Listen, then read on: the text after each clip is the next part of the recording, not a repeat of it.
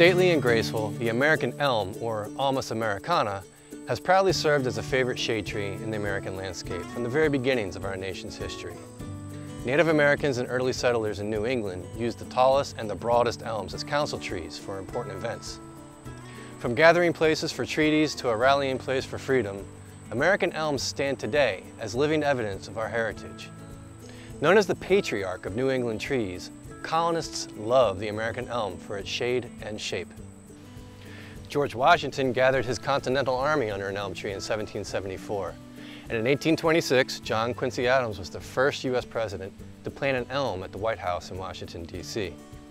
He later planted hundreds of American elms on Washington streets that were taken from Pennsylvania along the west side of the Delaware River. The Olmsted brothers, who were prominent landscape architects, used American elms as feature trees on estates and in parks.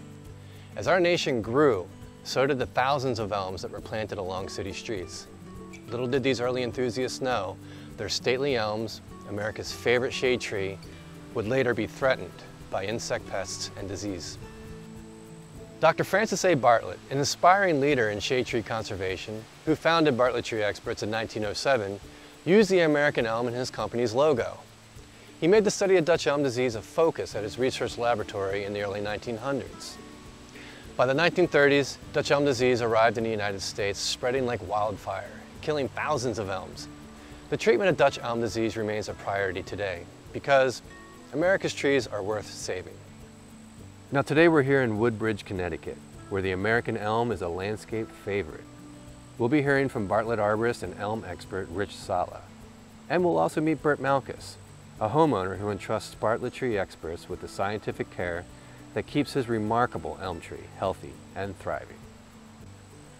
So American elm is a, is a majestic tree in nature. It's going to be very tall at its peak it's going to be sometimes as wide as it is tall. It could reach heights of 80 to 90 feet tall and 60 to 70 feet wide.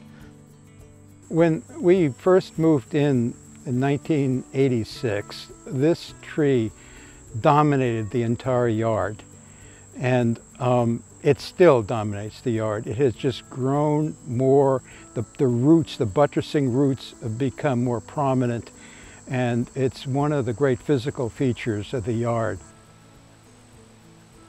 So the optimal growing conditions for the American elm are going to be full sun, full sun and nutrient-rich soils. They can also um, survive in the worst soils. They can, uh, they can survive in compacted soils, uh, sandy soils, soils with not a whole lot of compost or, or, nut or nutrients. There's many different concerns with the American elm. There's, uh, there's elm yellows, there's elm leaf beetle. Uh, the, by far the most common and worst disease is, uh, is Dutch elm disease. So Dutch elm disease is transmitted by the elm bark beetle. Elm, elm bark beetle will hatch in the spring. It'll move from an infected elm over to, over to a healthy elm and infect the tree at that point. What happens is the tree's response to that infection of, the, of this fungus is to block up its xylem and its vascular system to keep, that, to keep that fungus from moving throughout the entire tree. What happens with that is the whole is the tree will start to wilt. So it'll start to wilt usually in the top top part of the canopy first. We refer to that as flagging. When we see flagging, it's it's a it's a sign that the tree the tree may be infected with Dutch elm disease. Well, a Bartlett was recommended by friends of mine who I greatly respected because they have gorgeous gardens. And I asked, how come your trees are so nice? And he said, well, Bartlett's the only name you need to know. And I, I called Bartlett. Rich came down and he told me what trees I have. he started naming all the trees in the garden. And that's how I first learned all about the trees that I have growing. And this particular elm tree, I told him I wanted to protect it protected. And he said, nope, no problem, we can do it. When I came out and I inspected the tree, I realized that this was a specimen elm tree that needed to be protected from Dutch elm disease. What we did is we wrote him up a program that would not only, not only keep the, fungicide, the fungus from attacking this tree, it would keep the tree healthy. The way that we're most successful at managing Dutch elm disease is to manage this disease preventatively. The way we manage it preventatively is we do winter pruning to remove any dead, dead disease or damaged limbs in the canopy of the tree, and then we follow up with fungicide treatments. Fungicide treatments are done at the base of the tree. We do them in the spring that we inject into the tree. The tree, the tree takes up that fungicide, brings it up into the top of the tree. When the tree's fed on by an elm, elm bark beetle, that fungicide will meet that, meet that infection and stop the infection from happening. They know when to come and they show up, they take care of the tree, and um, it, it, they cause no harm whatsoever to my garden.